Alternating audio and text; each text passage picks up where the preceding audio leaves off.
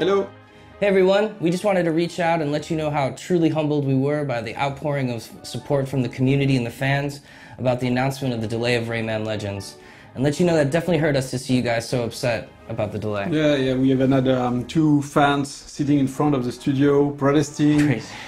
Well, um, we had some times. We are having now some some times to uh, to add content in the game. We want to add um, characters, bosses, uh, even new levels, which is which is good for the game. Lots of cool stuff. Uh, well, the, the, very important thing is that we really want to share now the game uh, with you as soon as possible. Yeah, we know you guys just want to play the game as soon as possible. So you may have heard an announcement about a demo, but in fact, what we're going to do is release the full online challenge mode of the game exclusively to the Wii U fans.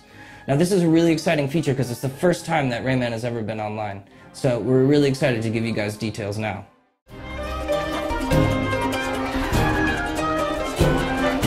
The online challenges mode in Rayman Legends will be accessible through the main hub. New challenges are generated weekly and daily, each with its own leaderboard. The challenges take place in five different settings, which feature a unique set of gameplay styles. Beware of what lies beneath as you descend into the deadly pit. Everyone's favorite, the land of the dead.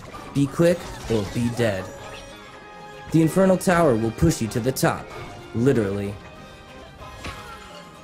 In the dojo, we will test your skills and your mind. And finally, the dungeon. This challenge has been created exclusively for the Wii U.